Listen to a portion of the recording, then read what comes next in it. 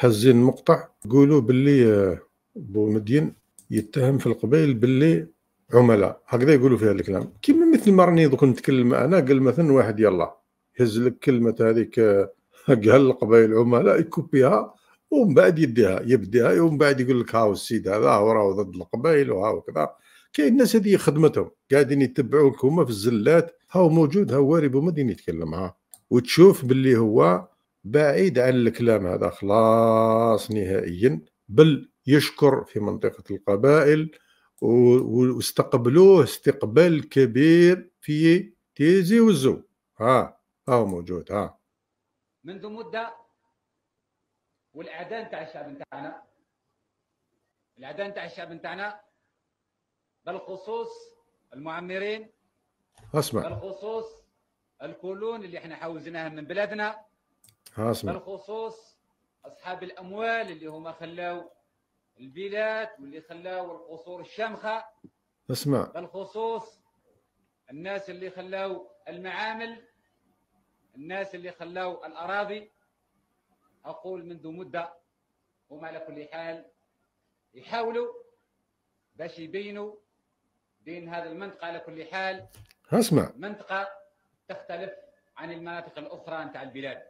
وشكون على العنصري كل حال قبل الاستقلال منذ عشرة سنين وحاولوا كذلك أثناء المعركة نتاع التحرير وبقوا يحاولوا بواسطة الجرايد نتاعهم وبواسطة على كل حال الإذاعات نتاعهم يعني الراديوات نتاعهم والتلفزيونات نتاعهم باش يبينوا أن عماله القبائل هي عماله على كل حال تختلف عن عماله الجزائر وأن على كل حال الناس أو المواطنين في الجهة هم على كل حال ناس عنصريين وهم ناس على كل حال انفصاليين. هذه الدعايات المسمومة أيها الإخوة وتسمحوا لي أقول بهذه المناسبة التاريخية اللي حاول وخدم بها الاستعمار. وتعرفوا المبدأ نتاع الاستعمار. هو يدافع عن القبائل يدافع عن القبائل وما يتهموا فيه بالعنصرية. اسمع وسياسة الاستعمار هي في الرق أسود.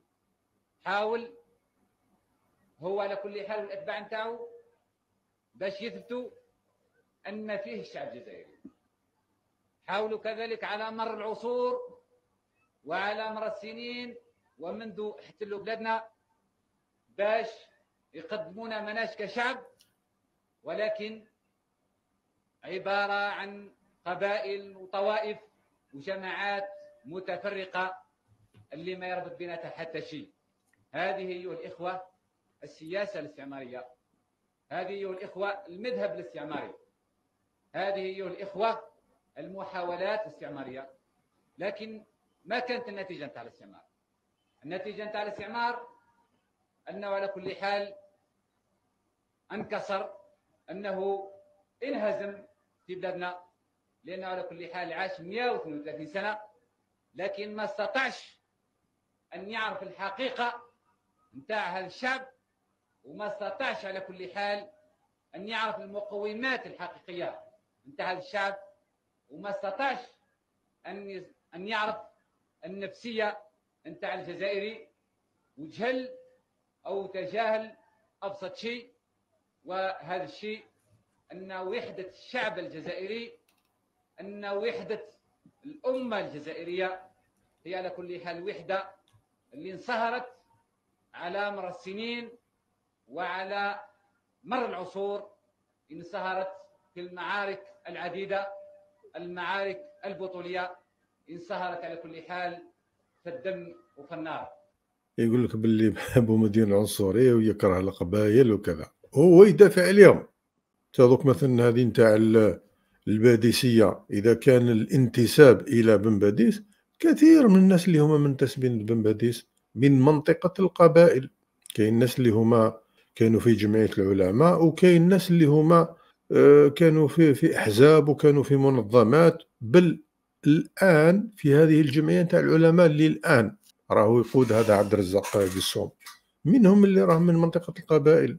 فيهم ناس اللي هما دكاترة فيهم ناس أساتذة جامعيين فيهم ناس اللي على مستوى عالي من الوعي ومن من من التفكير ومن كذا. وكاين اللي هما كما قلت وكما نعاود نقول ونكرر فيهم من المنافحين وفيهم من المكافحين على اللغة العربية وعلى الإسلام وعديد المساجد وعديد الزوايا وعديد المدارس اللي هي كانت موجودة. في منطقة القبائل ويكفي عميروش هو نفسه؟ كان من جمعية العلماء. مولود قاسم عبد الرحمن شيبان كان هو اللي يقود في جمعية العلماء وهو من أحياها هو من منطقة القبائل. فالأمور واضحة. تسمى غير الإنسان اللي هو يحب يحب يعاند. هو كاين الناس اللي هما استغلوا استغلوا هذه المسألة من أجل على جال باش يتخذوها كذريعة لمآرب أخرى. هذه هي هاني جبت لك أنا مثلا التسجيل هذا وين أنه هواري بومدين هو يدافع على منطقة القبائل ويقول باللي تسمى وراء هذه الصراعات ووراء هذا الاسم هو الاحتلال. وهاني قلت كما تكلم قال على عمالة منطقة القبائل قال على عمالة الجزائر. يعني هو المصطلح المستخدم كانوا كما يقولوا يعني ولاية بالتعبير تاع الحالي. لكن تشوف الناس إيه الأخ محمد قلت لي الشيخ عالجات إيه شيخ عالجات كثير من من الناس اللي هما حماني. كثير كثير منهم اللي ربي يرحمهم اللي توفوا. كثير منهم اللي هم من منطقة القبائل. والناس ما كانتش تمشي بهذا المنطق هذا. هذا المنطق راه مغذاوه. هو صحيح كانوا كانوا كأفراد. كانوا كأفراد كانوا موجودين ولكن مش منطقة القبائل. كانوا كأفراد كانوا موجودين والصراع هذا قديم. كان الناس اللي هما كانوا يشوفوا فيها هكذاك. لكن هو سمى الصراع شكون اللي داروا داروا الاحتلال.